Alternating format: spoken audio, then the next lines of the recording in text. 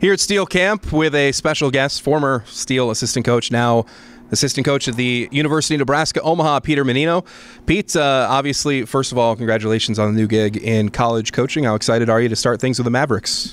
Well, I just want to mention the the black, black and black there. Like this is this is special to all those fans that listen to us. Yeah. This is what it's all about. We normally don't do these on video, so like we should have. We yeah. can do that if we get enough requests. We'll podcast stuff like that from afar. But anyway, uh, thanks to everybody. Uh, you you know you don't move on and go to uh, other levels and stuff if you don't have the support and people around you, uh, front office all the way down. Um, you know, thank you to everybody, and I'm really excited about the college level. It's something I went through as a player for four years, and looking forward to uh, transition to the role there and uh, have players at that level, kind of the next step from where we are here with the Steel.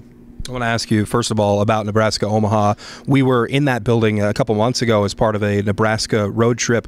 Uh, so you got to see the arena firsthand. Uh, I'm sure you're really excited to, to join that team and uh, coach in that building. Yeah, absolutely. Uh, that was kind of a, it was helpful, obviously, kind of having a visual there with what to expect and what we were going through. And, uh, uh, when I went through the process, uh, big thanks to Coach Gabinet and University of Nebraska Omaha. Uh, just thrilled about the opportunity and um, Dave Noel Bernier, call him Bernie.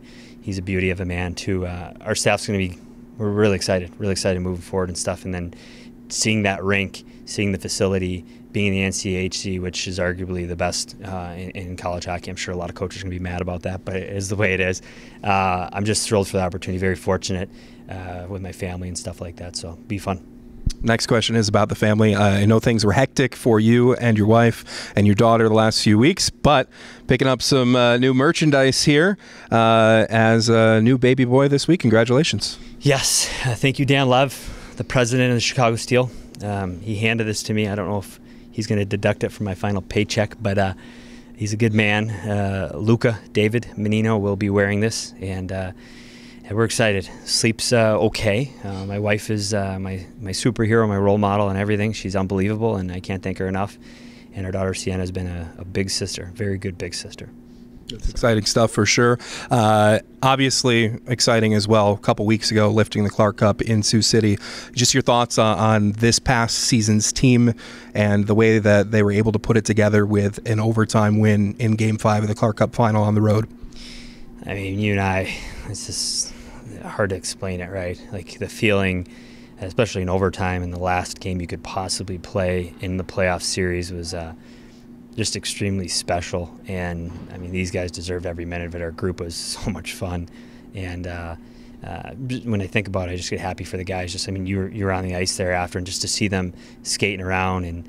Um, picking up the cup and all that stuff, and then the the front office, Kimbo Slice was out there, and uh, to have everybody you know get a hand on that. It just shows that you have to have everybody involved and um, just amazing feeling for them. And uh, you and I got to hoist that together. It was, it was really cute and stuff. And uh, that one picture where you're holding a microphone up. I thought you were just pretending to punch me with all of your wrestling references. I think you posted that. I was like I think people are gonna really wonder why my hand is there. It was like this for a microphone. So like this we yeah. should we should like uh, post that in or uh, Photoshop a microphone. We, we can do that. Yeah. That'd be better. So yep. no confusion there, just a microphone. So I'm going to ask you, uh, as we did for the pregame interview for Game Five. Mm. Now, uh, final shout outs that you want to give. the Mister shout out right here. Threw them all out there. You know, I, I think it's just fitting to give a shout out to the man that made the shout outs possible, and that's Rob Sanderson right there. That's the final shout out. Wow. Rob Sanderson. I mean, we should like wrestle. We should wrestle on camera, hey? With something, right? No, yeah. Like I've always wanted to do that with you.